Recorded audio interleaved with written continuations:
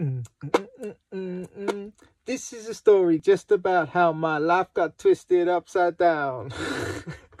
Welcome to the Prince of Hellair, babies. So, literally, things are not good, as you know. Um, I just wanted to check in and say that my phone is uh, probably going to cut off soon as there is literally no money in that account as far as I'm aware. Uh, it won't let me withdraw any shows the cards are cancelled so I can only guess there's none in there. So this might be one of my last videos ever. So I am in Cahors in France. My name is Andrew Loizou and um, things are not safe.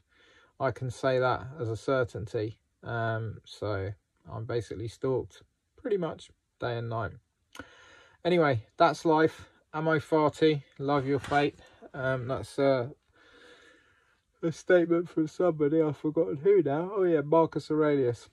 All love and joy to all of you. I hope you're having a wonderful, wicked day, and I hope the love is tremendous out there.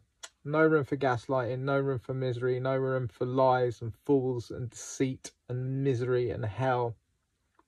It needs to be removed from this beautiful, beautiful planet, whatever the problems are and whatever the beautiful, beautiful, beautiful humans are so tremendously confused with. Anyway, peace and love.